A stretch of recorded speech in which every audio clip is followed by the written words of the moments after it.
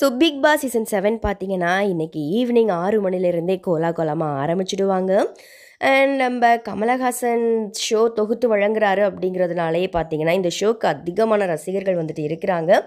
அதே போல் கண்டஸ்டன்ஸாக யாரெல்லாம் கலந்துக்க போகிறாங்க அப்படிங்கிறத பார்க்கும்போது கூல் சுரேஷ் பப்ளு பிருத்திவிராஜ் யுகேந்திரன் ரவீனா தாகா இவங்க எல்லாருமே பார்த்தீங்கன்னா பிக் பாஸ் வீட்டுக்குள்ளே போயிட்டாங்க ஆல்ரெடி அப்படிங்கிற மாதிரியான தகவல்கள் வந்துட்டு நமக்கு கிடச்சிடுச்சு.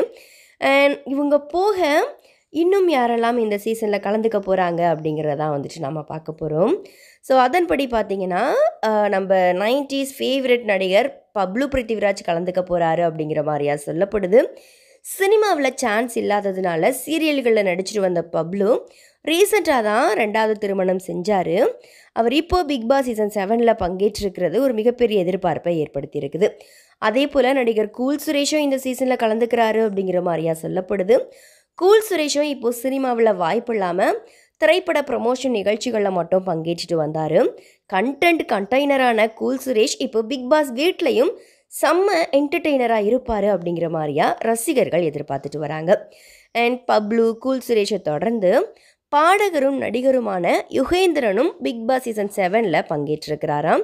இவர் பார்த்தீங்கன்னா மறைந்த பாடகர் மலேசியா வாசுதேவனோட பையன்.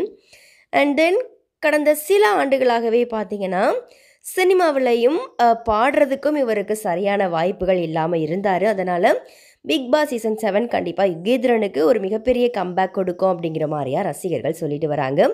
அண்ட் இவங்களோட இப்போது சீரியல் நடிகை ரவீனா தாகாவும் பிக் பாஸ் வீட்டில் ஐ மீன் இந்த சீசனில் கலந்துக்க போகிறாங்க ஆல்ரெடி பிக் பாஸ் வீட்டுக்குள்ளே அவங்க போன ஃபோட்டோஸ் எல்லாமே கூட ரிலீஸ் ஆகிட்டு இருந்துச்சு.